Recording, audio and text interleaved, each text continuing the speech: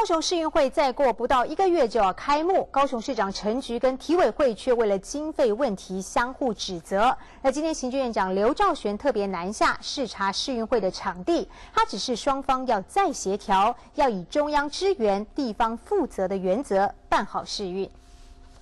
行政院长刘兆玄南下视察高雄市运主场馆，除了关心赛事准备的情形以及维安等问题，也针对市运两亿三千多万的资金缺口做出裁示。浪费的，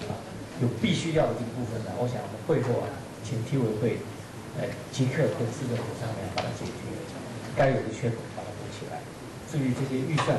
的编列运用乃至将来的审计，还有一些争议或者有些问题的话，一切都事后再去做。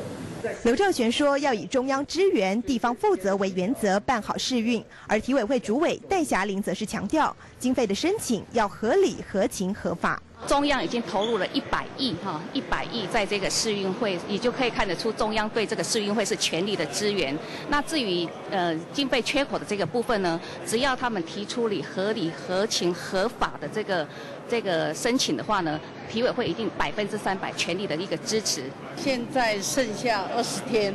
哦，我想很多，呃，我想可能这个部分。